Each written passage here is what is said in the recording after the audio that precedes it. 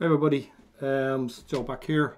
So um, previous video we went through how to set up your account to log in and retrieve some uh, YouTube data through an API.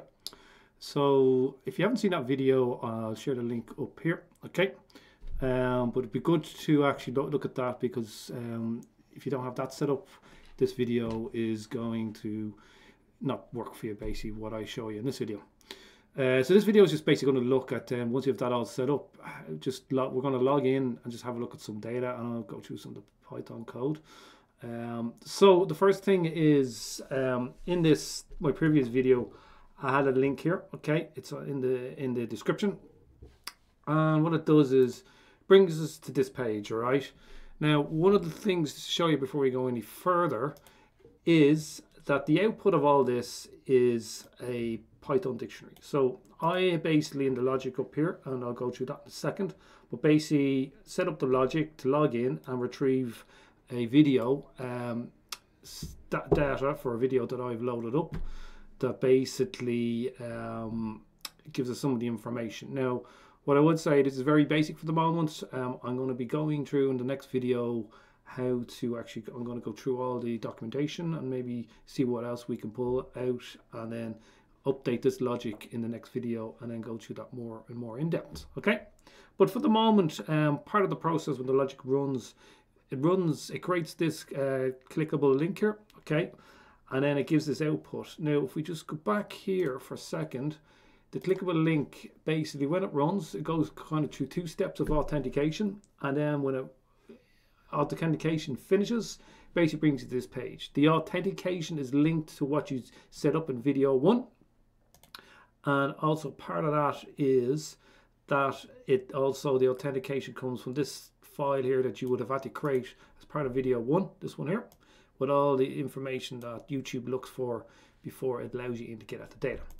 So as you can see down here we have a set of, a set of data here. I'll just take you through this very quickly then we'll go through the code. Okay so some of the information around this is things around duration uh, dimension um, definition. So is a high definition or what is it? Is there any captions on it? Uh, licensed contents, content rating, uh, things around thumbnails. Then it, there's a section here on statistics. Now gives you your view count. So this is up to date. So essentially, um, if you rerun this and say in 10 minutes time and there being updates on it, this should be give you the information you need and be updated. So things around like count, dislike counts, favorites, any if there's any comments, um, things like that.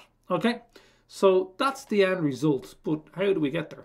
Okay, so essentially this code here is given by YouTube. Okay, uh, well YouTube basically it's on their website. So if we go back here, okay, and what I wanted to show you is when we clicked on this link earlier on, it brings us to this page, right?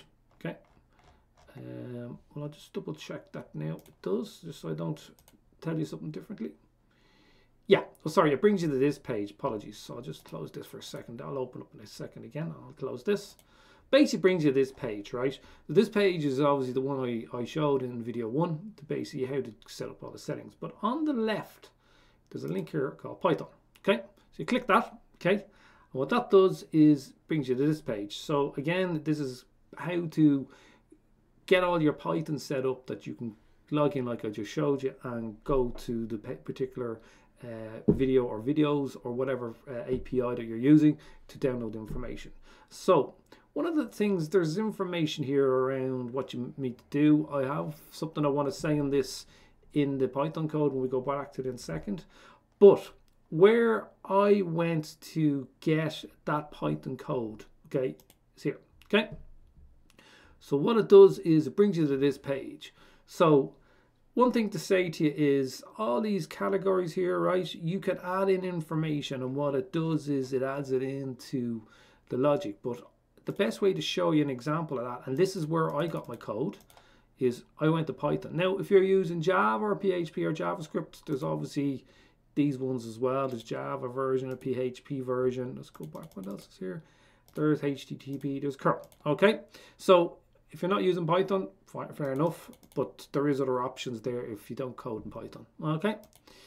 And basically when you go here, has all this logic. So the majority of this logic here that we use, I'll show it go through in a second, is in my Python code. Now, the good thing about this here, you don't have to do it here. You can actually do it in your logic. But say you wanted to, say you wanted to do, add in a username. Okay, add in a username there. Now, as you can see, as I add it in, it actually comes here in this section. So if you know in advance before you copy the code out, you can put in all the different um, parameters here and it will populate it into the relevant section in the code here and then you can copy it over. Okay, so what I'm going to do is I can show you actually there's a that's how you would copy it there. You can highlight it on copy it or just click the copy here. Okay, so we're just going to close this. Okay, so we've copied it right essentially and we pasted it in here. Okay, now I'm using um, PyCharm, okay, for this. When I you brought this code over, there was a couple of things that went on that I had to do to kind of get this working to basically do what I just showed you at the very start. Um, so you basically have to do a number of imports here. Um, you actually have to import this as well. Um, now these two spits here are important in PyCharm I was having issues, but I had to do this pip install here, okay? So again, I'm just leaving this here that if people are having issues, this might be a way to resolve your issue and actually get what you need installed so that it works for you, okay? Again, um, these are just, comes with the logic, but this is the, the network drive path I have and the location where I have the secret file. Again, that secret file was created in step in the first video uh, I would have taken you through that. So remember to look at that if you get a second if you haven't already.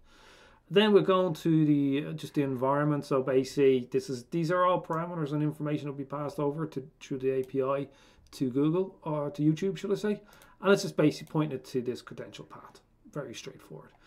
There's things called scopes, um, and all I'm going to do is my next video, as you said, I'm going to go through the documentation and explain what all these mean.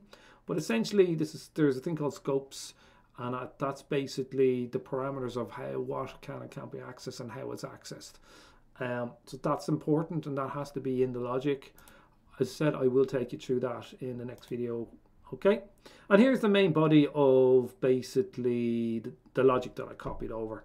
Okay, you're to have to um, tweak all this for what you're doing. So I'm using the API YouTube version 3. Okay, so there's different APIs as I kind of explained in the first video. So you need to make sure whatever one you're accessing, whatever name is associated, this is populated here. Okay, again, it's basically referencing in this section the basically the secret file, okay, which was just up here, okay. And then this is basically going off to get all the when you click click this link, it runs, gets all these. Oh, sorry, when you you basically initially run it, click this, it's using all this to access basically the file here and then plug in, go into the YouTube API, get validated and then basically all going well and there's no issues. It just brings you back to that page I showed you there earlier on regards it's authenticated. When that's all done, you can close that page and it brings you back to basically this information here it outputs on the screen. Now I know it's in a, um, a dictionary, but I plan in the future to start doing a bit more work and taking this data and then start doing a bit of work on it. But for the moment, I just want to keep it simple, accessing it, and be able to see some data. We'll we'll build this out as we go along. There is this section here, um, and these are the requests. Okay. So what you can do is you can look for so you can look for playlists, information on any of your playlists in that channel. Um, you can for videos. Okay, so if you want to look at videos, you get this off the off the YouTube channel uh, video. Um, you can get that information. So that's actually specific to that video for that channel. Now, what I would say is, obviously, if you don't own the channel, you can't see this information. It is obviously there um, but that's that's specific to the YouTube video okay um, and then these are just all when it has has gathered this information just go and execute it and then it's just printing which is this bit okay So that is how uh, when you've set up your settings and basically have everything ready to go, this is the logic, how you would get the logic, how you bring it into Python, how you would tweak it and make sure it's in the right format and all the right data is in and get rid of any errors or if you need to import any modules and then run it and then see the output. Okay, so I hope that was a benefit to today. Please hit the like and subscribe button if you're not subscribed to the channel. Um, obviously, there's an alerts as well um, as we build out this video uh, series. We'll be doing more on this. Next video, I plan to look at the actual for this particular API here, wherever it's gone. The API views for this one. I'm going to look at the documentation and then kind of go through actually what's what's in it what you can and can't do, what you can pull down, what types of data, etc., etc. So thanks for visiting. Hope you have a good day. Take care. We'll see you soon. Goodbye.